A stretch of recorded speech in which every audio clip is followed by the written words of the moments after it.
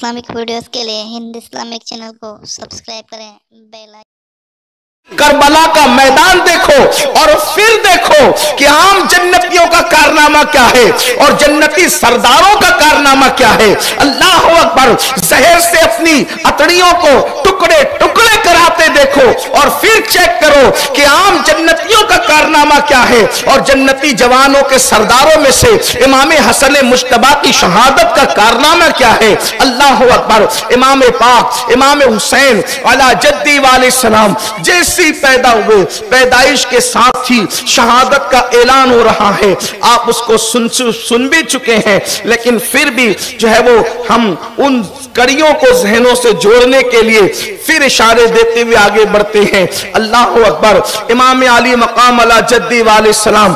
हिजरत का चौथा साल है और हिजरत के चौथे साल में एक तारीखी रिवायत के मुताबिक चार शाबान है और एक तारीखी रिवायत के मुताबिक शाबानुल की पाँच तारीख है और इमाम हुसैन रदी अल्लाह तु की विलादत होती है बाल्फाज यूँ कि सैयदा जहरा के गुलिस्तान में दूसरा फूल खिलता है और पंजतन के अदद पूरे पाँच हो जाते हैं। मेरे प्यारे आका सलात व तस्लीम के प्यारे दीवानों, अल्लाह अकबर, इमाम पाक की विलादत हुई विलादत इमाम के मौके पर अल्लाह के रसूल सल्लल्लाहु वसल्लम ने इमाम आली मकाम के कान में अजान पड़ी उनके कान में इकामत पड़ी और उसके बाद अल्लाह के रसूल सलाम ने घुट्टी दी और घुट्टी का वाक्य भी बहुत तफसील के साथ पिछले सालों में बयान हो चुका है। इसलिए उसकी तरफ़ न जाती बस इतना इशारा कि अल्लाह के रसूल सलाम ने अपनी जबान हजूर सलात व तस्लीम ने इमाम हुसैन अला जद्दी वाले सलाम के मुँह में डाला और हुसैन जबान नाना को ऐसे चूसने लगे जैसे कोई बच्चा माँ का दूध पीता है। पता नहीं। अल्लाह के हबीब सलाम ने वो सीने के असरार और रमूज किस तरीके से सीने इमाम में मुंतकिल फरमाया और पहले ही दिन इमाम ने किन किन राजों को अपने सीने के अंदर जगह देकर सीने को गंजीने, खजीने, राज नबूवत बना दिया। मेरे प्यारे आका सलात व तस्लीम के प्यारे दीवानों, उसके बाद इमाम अली मकाम अला जद्दी वाली सलाम का मासूम इमाम अली मकाम अला जद्दी वाली सलाम का जो वो मुबारक बचपना बड़ा खूबसूरत खूबसूरत तरीन बचपना मुस्तफ़ा जान रहमत सैदुल मासूमीन की गोद में गुजरता है। उम्र के तकरीबन छः साल, इमाम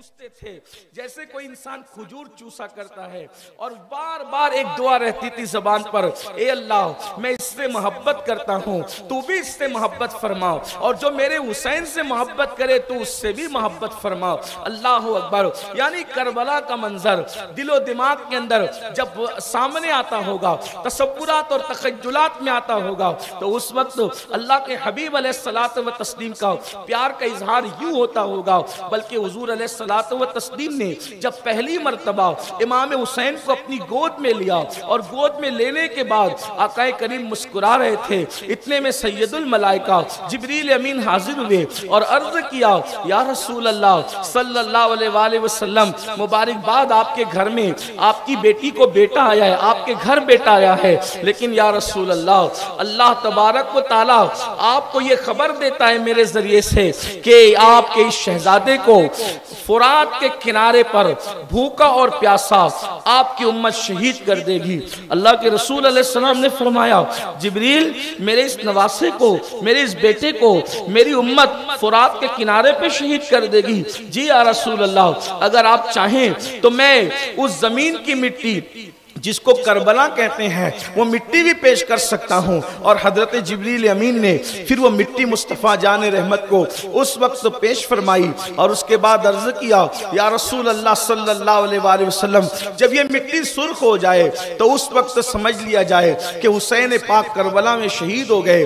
उस वक्त हजूर सलाम ने सबसे पहले मरतबा शहादत इमाम हुसैन को सुना।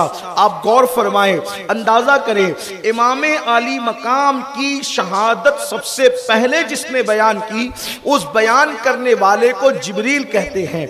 और सबसे पहले जिसने शहादत इमाम हुसैन को सुना, उसको सैयदुल आलमीन, सैयदुल मासूमीन मुस्तफ़ा जान रहमत कहते हैं। और फिर अल्लाह के रसूल ने शहादत इमाम हुसैन का ज़िक्र सुनकर आँसू बहाए। हुजूर सलाम की आँखों में आँसू आए। अल्लाह अकबर, जिससे कुछ नवासिब को तकलीफ़ है कि ज़िक्र हुसैन के बाद आँखों में आँसू क्यों आते हैं? हम कहते हैं, तेरे बेटे की मैयत पर आँसू आए।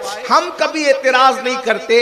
अगर रसूल के शहजादे की शहादत को सुनकर बतौर मातम नहीं, बतौर एहतजाज नहीं, अगर बतौर मोहब्बत, अहले मोहब्बत की आँखों में आँसू आए तो ये तो फिर सुन्नत मुस्तफ़ा है। हदीस से इशारा मिल रहा है कि शहादत हुसैन को सुनकर रसूलुल्लाह की आँखों में आँसू आए और अल्लाह अकबर फिर सिर्फ़ हुजूर की आँखों में आँसू नहीं आए, बल्कि अल्लाह अल्लाह, सैयदा मखदूमा फातिमा जहरा ने पूछा, बाबा, आप क्यों रो रहे हैं? रोने की वजह क्या है? तब मेरे आका सलाम ने कहा, अभी जिबरील आए थे और हुसैन की शहादत उन्होंने वो पूरा फिर वाक्य बयान फरमाया। फिर मेरे आका सलाम ने गोया के उसी मकाम पर जब जिबरील ने शहादत पढ़ी, हुजूर सुन के रोए। फिर हुजूर सलाम ने उसी वक्त पढ़ा और सैयदा रोई, मौला अली रोई, उम्मुल फजल रोई। अल्लाह अकबर। जिसने सुना उसने आँख से आँसू बहाए। बल्कि हमारे असलाफ, बुजुर्गान दीन तो यूँ कहते हैं, अल्लाह अल्लाह। बिलखसूस इमामुल मुतकल्लिमीन अल्लामा नकी अली खान, रहमतुल्लाह अलैह अपनी किताब में लिखते हैं कि मोहब्बत में रोना वो मकाम अता करता है। अल्लाह अकबर। खुदा के यारों की मोहब्बत में रोना, वो इबादत है कि उस इबादत का मुकाबला फिर दुनिया की कोई इबादत नहीं कर सकती। अल्लाह अकबर। और इतना ही नहीं, बल्कि हमारे सूफिया फरमाते हैं, जो मोहब्बत हुसैन में, मोहब्बत आहले बैत में आँसू बहाए, अल्लाह तबारक वाला फिर उसे दुनिया में भी, दुनिया के गमों से रोने से बचा लेता है और इंशाल्लाह क़यामत में भी वो गमगीन होने से महफूज हो जाएगा। इसलिए कि जिसके साथ मोहब्बत होगी, क़यामत में उसी का साथ नसीब होगा। तो अल्लाह के रसूल सलाम, और फिर ये बात भी मेरी कौम के जवानों याद रखना, क्योंकि करबला, बहुत सारे लोग लिखते हैं, बयान करते तो ये बात कही जाती है कि अल्लाह अकबर, वो अचानक हादसा हो गया। और ये बात भी मैंने अपने कानों से किसी को कहते हुए सुनी कि ऊँट जबा करते वक्त जितना टाइम लगता है। इतने टाइम में तो पूरा करबला हो गया। ये दस दस दिन तक करबला बयान करने की क्या ज़रूरत है? इतने में करबला हो गया था। जितने में ऊँट जबा होता है, उतने में वो बहत्तरों के टुकड़े हो गए थे। बस बात खत्म है, दो मिनट की बात है। लेकिन आपको पता होना चाहिए सीरतुल नबी के बाद सबसे ज़्यादा अगर कोई उन्वान दुनिया में लिखा गया है तो उसे करवला कहते हैं। अगर वो इतना ही मुख्तसर है कि ऊँट जबा होने इतना हो गया था और वो जा रहे थे और उनको चंद लोगों ने पकड़ के मार डाला और खत्म कर दिया, किस्सा तमाम हो गया। ये बात मैं अपनी तरफ़ से नहीं कह रहा हूँ। हमारे सीने छलनी होते हैं इससे। लोगों को तकलीफ़ होती है कि हम क्यों ये बात करते हैं? हम कहते हैं, लोग ये बात क्यों करते हैं? आखिर नवाज़ से रसूल की शहादत को हल्का करने की कोशिश क्यों की जा रही है? यजीद से रिश्ता क्या है किसी का? आखिर क्यों ये बातें कही जाती है हर साल? याद रखिए, अल्लाह के रसूल ने अपने अपने घर वालों को इतनी तफसील से करबला बताया कि जंग सिफीन करबला पर जितनी किताबें लिखी गई है, उसमें ये रिवायत मौजूद है। चाहे इमाम इब्ने जरीर तबरी को आप देख लें, इब्ने कसीर को उठा करके देख लें, आप इसी तरीके से जो है, और भी जितनी उर्दू जबान की, अरबी जबान की, फारसी जबान की किताबें हैं हत्ता के जंग सिफीन का तस्करा, करबला भी नहीं। सिफीन जिस जिसने लिखी है, सही लिखी, गलत लिखी, उस पर बात नहीं कर रहा हूँ। मुबालगा किया नई केस में बात नहीं कर रहा हूँ। लेकिन सिफीन का उन्वान जब भी आया, उसमें यह रिवायत ज़रूर लिखी गई कि मौलाए कायनात का लश्कर जब फुरात के किनारे से गुजरा तो उस वक्त मौला फरमाया, यहाँ रुको, यहाँ ठहरो। और वो अली जो कभी बद्र में नहीं रोता नज़र आए, वो अली जो ओहद खंदक व खैबर में कभी रोते नज़र ना आए, उस अली को देखा गया कि फुरात के किनारे इतना रोए कि आंसुओं से दाढ़ी तर हो गई। लोगों ने, ज़ाहिर सी बात है, जब किसी बहादुर को कोई रोते हुए देखता है तो लोग हैरत करते ये रो रहे हैं। मौला मुश्किल कुशा से पूछा गया, अली क्यों रो रहे हो? कहते हो, इस जगह को जानते हो? ये करबला है करबला। और इतना तफसील से रसूलुल्लाह ने घर वालों को करबला बताया था कि मौला अली ने उस दिन कहा, यहाँ मेरे हुसैन के ऊँट बैठेंगे, यहाँ उनके खेमे लगेंगे, यहाँ उनके कजावे रखे जाएँगे। यानी करबला कितनी तफसील से गैबदा नबी ने अहले बैत को बताया था।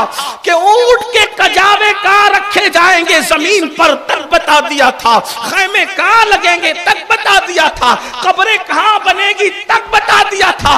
अब बताएँ, इतनी तफसील से जो वाकया बताया गया हो, क्या वो वाकया मामूली है?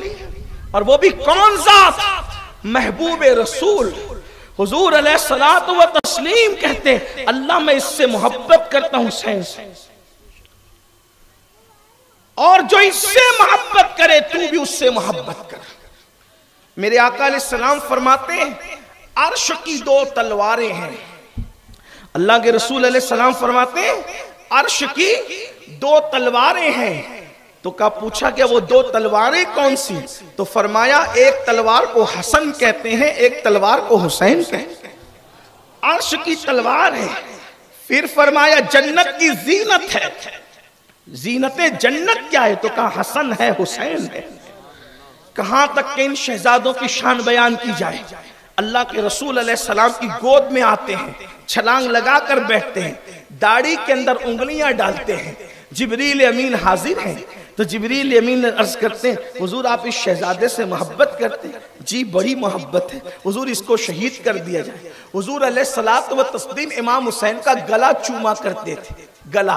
बच्चों की पेशानी चूमी जाती है पेशानी भी चूमते थे, मुँह चूमा जाता है, मुँह भी। लेकिन इमाम हुसैन का गला भी चूमते थे। लोग कहते थे, गला चूमने की वजह क्या है? तो फरमाते इसी पे खंजर चलेगा। जब याद आता है तो हुजूर गला चूमते ये है महबूब तरीन हस्ती और हमें रसूलुल्लाह के महबूब बनने का आसान तरीका। अल्लाह के महबूब बनने का आसान तरीका क्या? कि हुसैन पाक से सच्ची मोहब्बत करो। हुजूर फरमाते, जो इससे मोहब्बत करेगा वो अल्लाह का महबूब बन जाए हब्बल्ला हो मन हब्बा हुसैना, वो अल्लाह का महबूब है जो मेरे हुसैन से मोहब्बत करता है। बल्कि एक रिवायत यहाँ तक बयान की गई। अल्लाह अल्लाह के रसूल सलाम एक दावत में तशरीफ़ ले जा रहे। एक बच, बच्चे को बच्चों में खेलते देखा तो हजूर सलाम उसको प्यार करने लगे। सहाबा ने पूछा इस बच्चे से कोई खास रिश्ता है? कहा कोई रिश्ता नहीं है बस ये मेरे हुसैन से मोहब्बत करता है। मैंने देखा कि मेरे हुसैन के पैरों की मिट्टी को ये उठा रहा था। तो मैंने देखा कि ये बच्चा मेरे लाडले से प्यार करता है। तो मैंने इससे प्यार किया। और इतना ही नहीं कयामत में इसकी भी शफात करूँगा इसके माँ बाप की भी क्योंकि मेरे हुसैन से प्यार करता है। मेरे प्यारे आका सलाम के प्यारे दीवानों सैयदना अबू हुरैरा रदी अल्लाह फरमाया करते थे। यहाँ फिर एक बात अर्ज़ करूँ जो मैं हर साल कहता हूँ हर जगह कहता हूँ ये कि सहाबा ने अहलुल बैत से जितनी मोहब्बत की है आज उसका हम तस्वुर नहीं कर सकते। सहाबा सच्चे लोग थे साफ़ दिल लोग थे। हुजूर सलाम ने उनके दिलों का तस्किया किया था। वो पीवर लोग थे। अल्लाह अकबर। तो हज़रत अबू हुरैरा रज़ी अल्लाह तआला ने जिस वक्त हज़रत सैयदना इमाम हुसैन की जूतियाँ सीधी की और अपनी अमामे के शिमले से जो है वो आपकी जूतियों को साफ़ किया।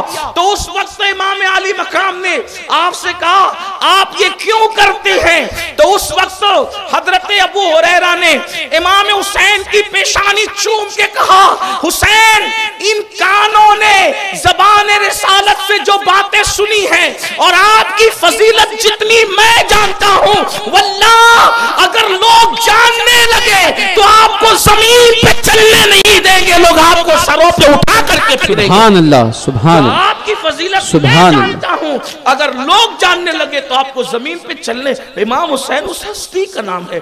और आप गए हैं अल्लाह के दीन को बचाने के